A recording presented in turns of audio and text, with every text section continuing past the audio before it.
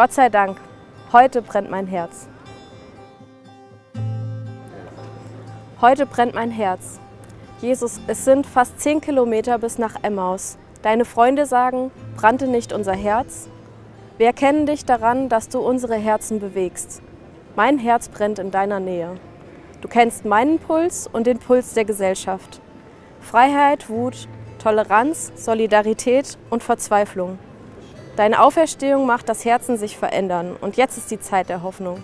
Gott sei Dank, heute brennt mein Herz.